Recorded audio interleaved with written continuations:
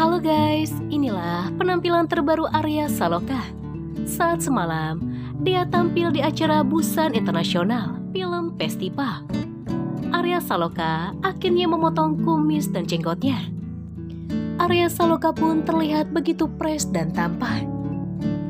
Dan kemarin, Arya Saloka pun merepost postingan yang diposting oleh Putri Ana ketika dia sedang bersama Ibrahim dan Putri Ana di acara syukuran ulang tahun Ibrahim. Banyak sekali yang berspekulasi dan mengatakan jika ternyata selama ini Arya Saloka dan Putriana hanya melakukan sebuah drama tentang nasib rumah tangganya.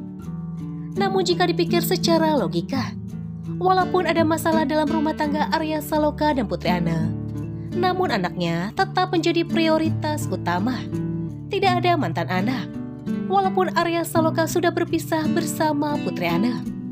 Dan inilah jawaban Arya Saloka saat dia bercerita datang ke rumah Putri Ana pagi sampai siang.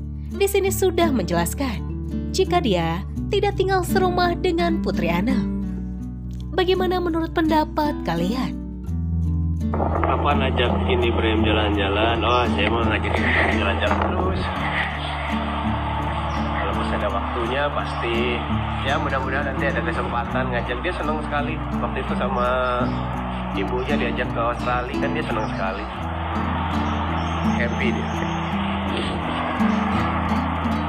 Ibrahim baik kok Ibrahim di rumah sama ibunya. Ya kabar-kabaran aja lah. Kemarin Ibrahim ulang tahun. Ulang tahun udah lama dia kemarin tuh cuman kayak ngadain acara di rumah saya datang pagi hari pagi sampai siang lah.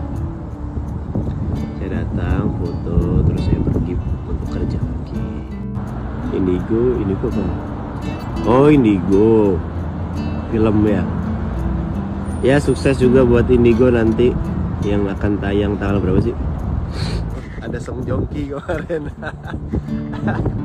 Nanti kalau udah boleh diposting saya posting foto dengan Song Jongki saya jarang-jarang minta foto sama orang. Udah bisa bahasa Korea belum. Kamsahamnida kita doang. Annyeonghaseyo. Udah mandi belum? Belum. Semalam udah mandi. Oh, nanti masih mandi lagi. By the way terima kasih dukungannya teman-teman semuanya terhadap saya